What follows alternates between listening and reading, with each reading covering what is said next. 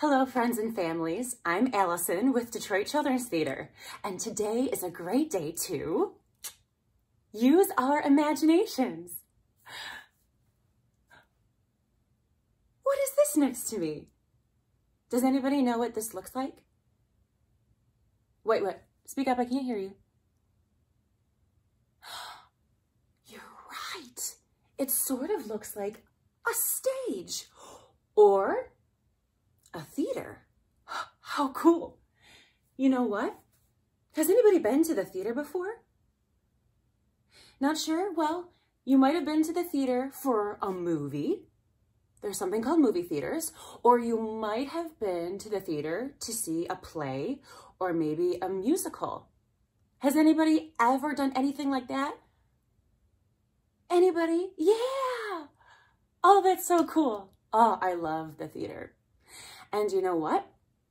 Being that we are Detroit Children's Theater, I thought it might be cool to teach you a fancy word that has to do with the theater. This looks like a small version of a big theater. I want to teach you a big word. This type of theater space is called proscenium. Proscenium theater. That is a huge word. Let's try it nice and slow. Proscenium. So close. Try it one more time. It's tough. Ready? Proscenium. That's it. Good. This is an example of a proscenium theater space. And do you want to know why? Do you see this arch right up here? And this big rectangle shape? Well, it separates the stage area from the audience, which is where you are. You're in the audience right now. That is proscenium theater. And you know what? Most of the time when people think of theater, this is the kind of space they think about. Now, today I have this miniature version up of a proscenium theater because it is used for a specific kind of theater. Anybody have any guesses as to what kind of theater we might do today? Did you say puppet theater? If you did, you are right. It is going to be a puppet show today inside our puppet theater. Now, I heard that you may have made your own puppets with Leah from Detroit Children's Theater. I think that she might have sung with you a song called Down by the Bay, and I think that she might have even helped you build some puppets to sing that song. Now, if you did that video with her, you can take those puppets you made and use them inside of your own puppet theater.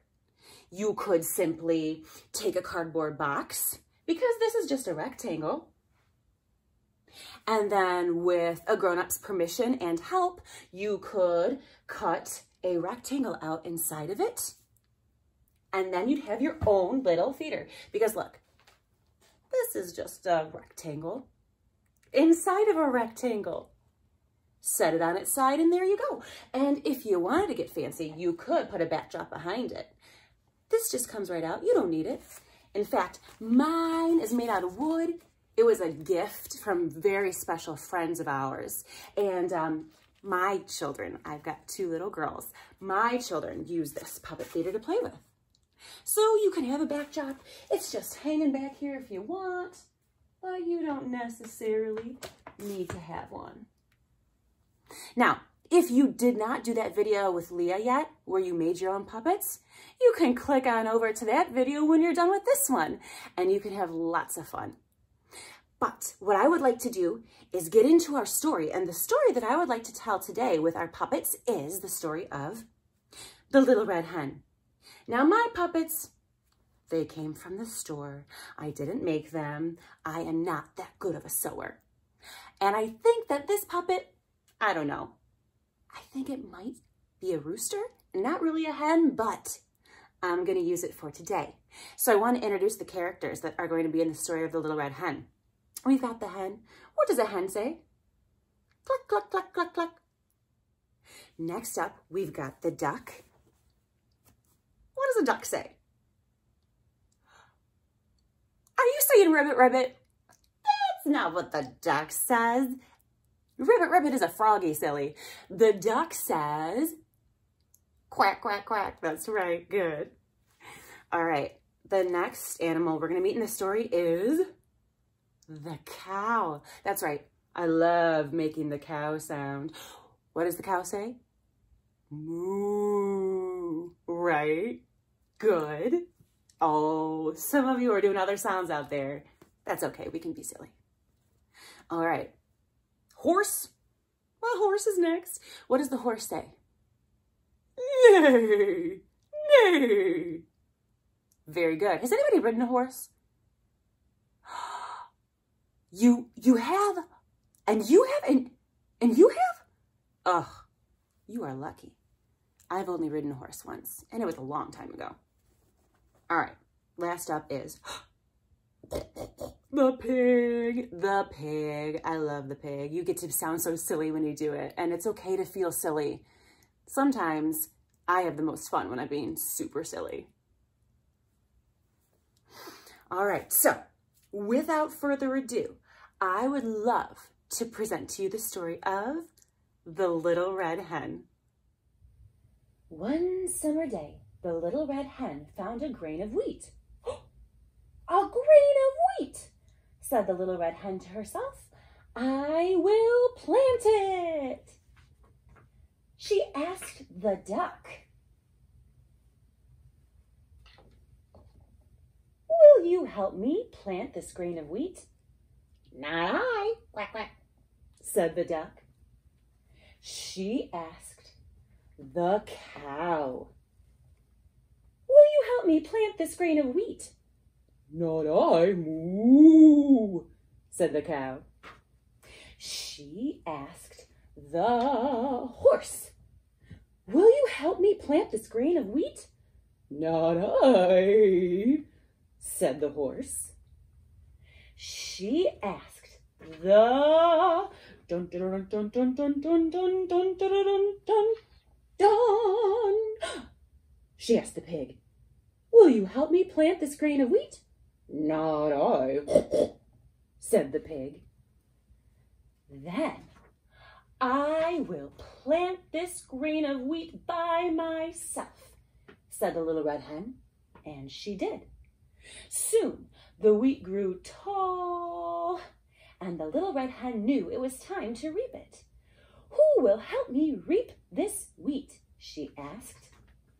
She asked the duck. Not I, eh, quack, quack, quack, quack, quack, said the duck. She asked the cow. Not I, moo, said the cow. She asked the horse. Not I, said the horse. She asked the pig. Not I, said the pig. Then I will reap it myself. And she did. She reaped the wheat, and it was ready to be taken to the mill and made into flour. Who will help me carry the wheat to the mill? Who did she ask next? She asked the duck. Not I, said the duck. She asked the cow. Ooh, not I, said the cow. She asked the horse. Not I, said the horse. Who'd she ask? She asked the pig. Not I, said the pig. Hmm, then I will carry it to the mill myself, said the little red hen. And she did. She carried the wheat to the mill, and the miller made it into flour. When she got it home, she asked, Who will help me make the flour into dough? She asked the duck. Not I, quack, quack, quack, quack, said the duck. She asked the cow, Not I, moo, said the cow. She asked the horse, Not I, said the horse. She asked the pig, Not I, said the pig. Then I will make the dough myself, said the little red hen, and she did. Soon the bread was ready to go into the oven. Who will help me bake the bread? said the little red hen. She asked the duck. What do you think the duck said? We know now, right? The duck says, Not I, quack, quack, quack, quack, quack, said the duck. Who does she ask next? She asks the cow. And what does the cow say to her? Not I, moo, said the cow. Then she asks who? The horse. And what does the horse say to her? Not I, said the horse. And finally, who does she ask last? Who does she ask last? The pig. And what does the pig say? That's right. Not I, said the pig. Then I will bake it myself, said the little red hen. And she did. After the loaf had been taken from the oven, it was set on the windowsill to cool. And now, said the little red hen, who will help me eat the bread? Mmm, yummy. Oh, and who comes up to the windowsill? The duck said, I will, said the duck. Who will help me eat this bread? Mmm, I will, Ooh, said the cow.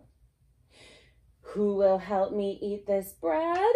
The horse says, I will. Mm. And the pig says, I will. Hmm, what do you think the little red hen says? She says, No, I will eat it myself, said the little red hen. And she did. Did you enjoy that puppet show? Oh, good. Now, I would like for you to be able to practice doing something that you would do if you were seeing theater live in front of you and not on screen right now. Something that happens at the end of a show is what's called curtain call. It's where the actors come back onto the stage at the very end so that they can take a bow. And you, that's you, as the audience would start to clap and applaud, right? So let's practice that. Our show is done. It's curtain call time. The actors come out onto the stage. They take their bow. And what are you doing? Are you applauding? Are you clapping? Oh, now I hear it. Oh, good, good, good, good. Yeah, this is done so that we can say thank you to each other. The actors are bowing, saying thank you to you as the audience members for coming to see their show, saying thank you for acknowledging all the hard work and preparation that they did. And you, as audience members, are applauding to show that thanks, to show that you recognize all of the hard work that went into the show and all of the enjoyment that you had because of it. Now, the story we did today with the little red hen, I think it kind of falls along those lines.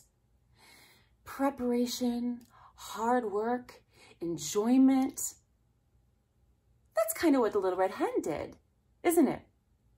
She had a lot of hard work and preparation in order to make her bread.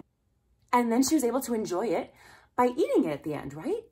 Now, when we think about the story, she asked for help lots of times along the way, right? She asked the duck, she asked the cow, she asked the horse, she asked the pig. And what did everybody tell her? No, they're not helping. So when we got to the end of the story and she finally had this delicious bread, did she share that bread with everybody who told her no along the way? No. The duck and the cow and the horse and the pig all missed out on that wonderful enjoyment because they didn't put any of the hard work into it. We've talked a lot today about good choices, bad choices, hard work, theater, proscenium theater, puppet theater, what to do at the end of a show that you see at the theater. Man, you all did such great work. I am so proud of you. Thank you for, for hanging out with me today. If you liked the video, make sure that you subscribe to Detroit Children's Theater. Make sure you like our channel. And that way you can stay updated when we have future videos coming up onto the channel. Thank you so much. Enjoy your day. I'll see you later. Bye-bye.